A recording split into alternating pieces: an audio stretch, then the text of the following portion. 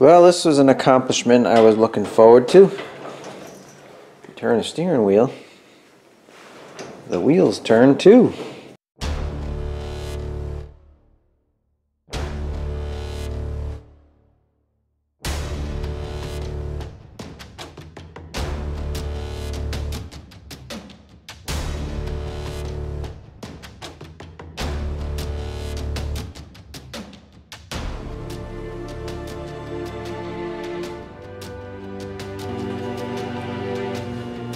Oh, hey folks, welcome back to KEI Fabrication.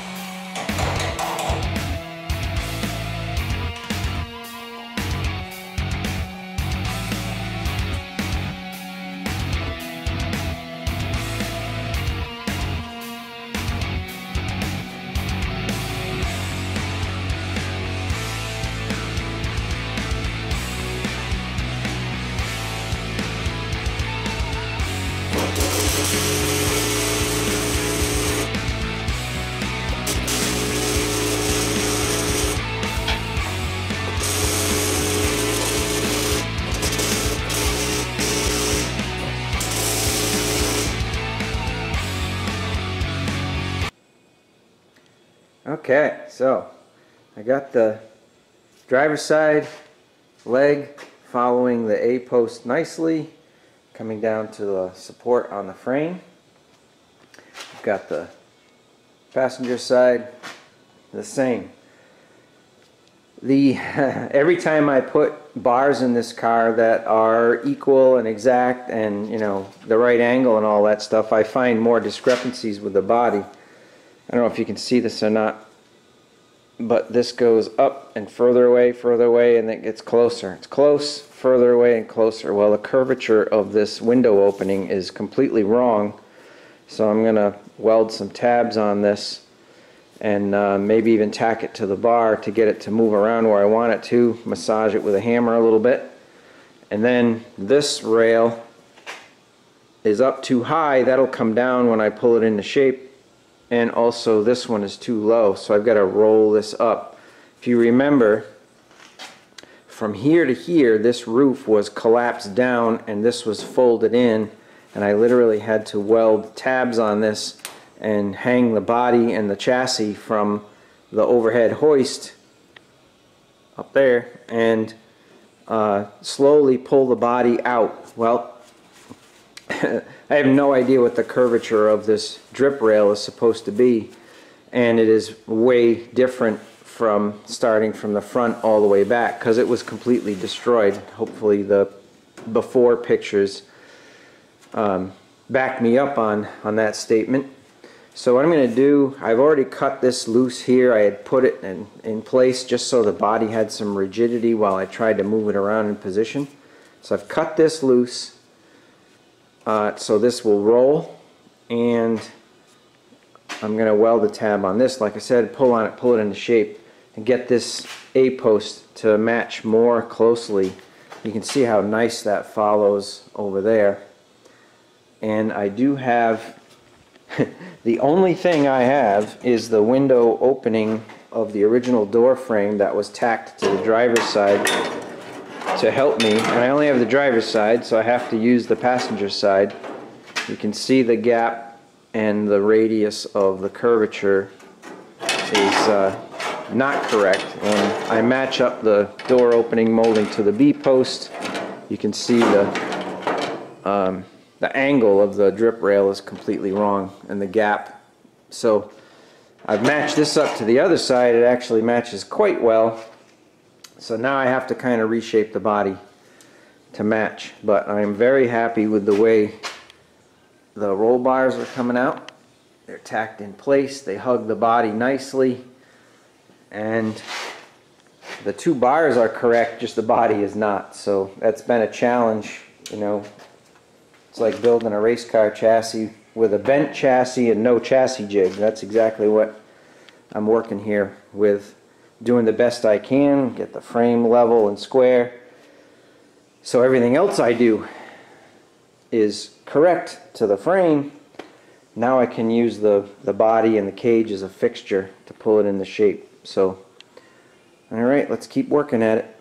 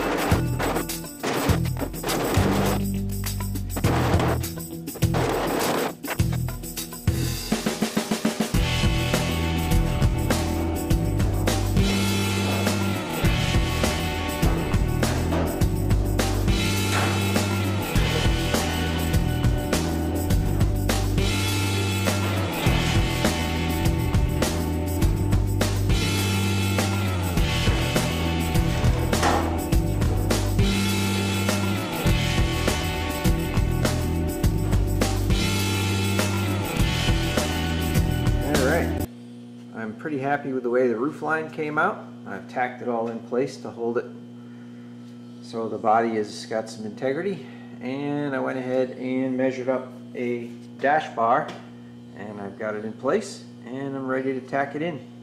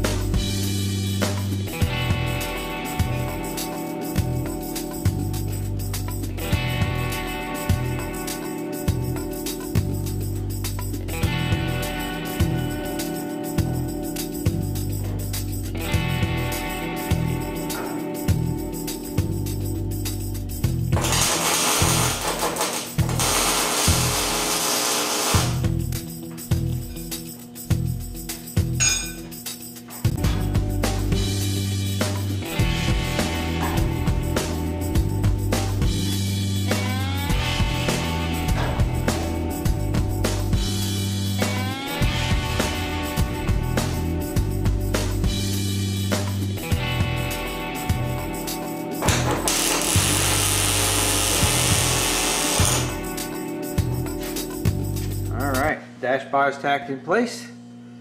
I know it looks like it's not level, but the dash itself is missing some metal. And Uh, I originally had the center of the bar in the center of the Sharpie marker mark and uh, at the last second I remembered that I really wanted the dash bar and the seat belt bar that runs across the back of the car the back of the cage at the same height and the reason is I wanted the door bar to interact with the cross member in the same exact location. So the height of the top door bar will be right where the dash bar and the crossbar that the seat is mounted to, that the seat belts wrap over. So at the last minute, I grabbed my four foot level, put it on there, and made sure that it was level on both sides. So that was the adjustment that I made, planning a little bit further ahead into the future. Oh, but working hard on the old number seven. I've been really trying to get the steering wheel connected to the steering box, and I'm closer. In order to get the wheel steering with the steering wheel, I had to mount the steering box, and then in order to get the steering wheel mounted, I had to put the sides of the cage in and then I needed to put the dash bar in and then I needed to put the steering column support and while I was at it I made the windshield bar. So the last step in making the car steer from the wheel is a couple of universal joints and a couple of additional bearing supports alright looking forward to being able to operate the steering from the seat alright Let's play what's in the package.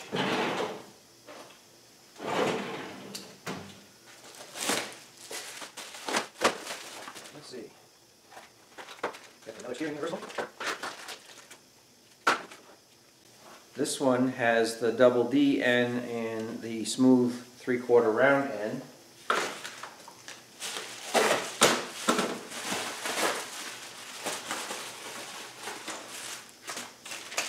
because I have a second universal joint in the steering shaft itself, above and beyond the one at the steering box, I need another bearing support next to the additional universal joint. So we're going to do that.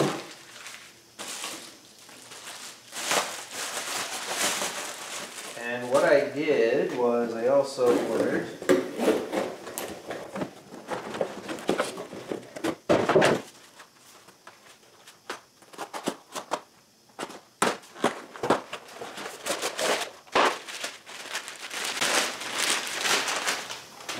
the double D steering shaft to go in the double D universal joint. So the reason why I did this is if I ever wanted to disassemble the steering column, everything would have been welded if I didn't do this. So I'm going to put this on just outside of the firewall and it'll be coupled with a through bolt and I am also, so this will get welded to the round shaft and then this will come up and engage with a three-quarter round and connect to the other universal joint up by the last piece of steering column that connects to the steering shaft.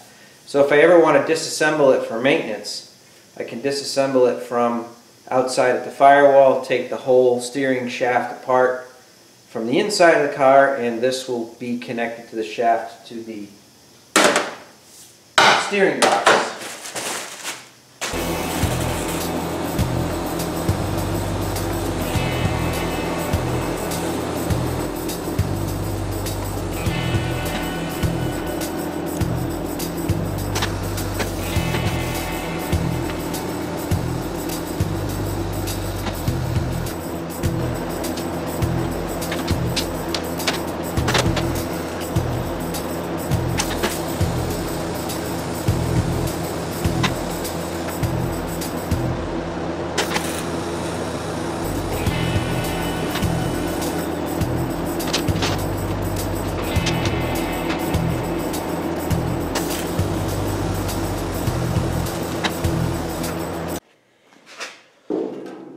Well, this was an accomplishment I was looking forward to.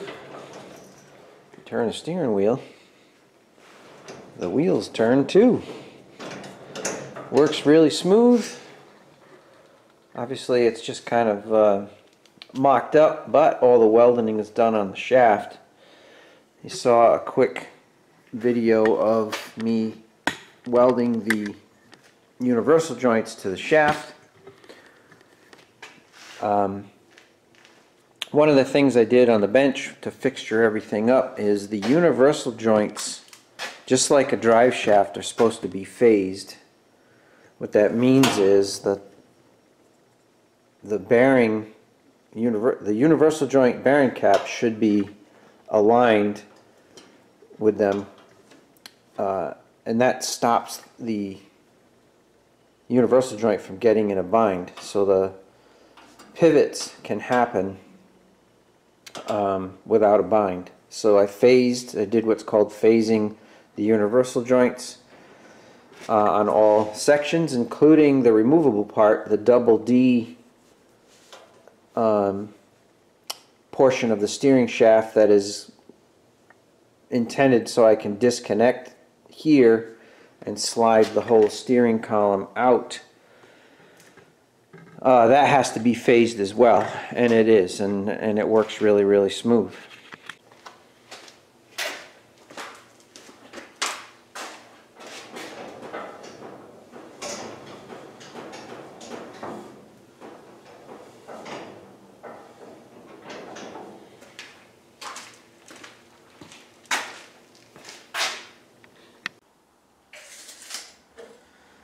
Alright folks, that's going to be it for this one. If you're still with me, obviously you like this sort of thing.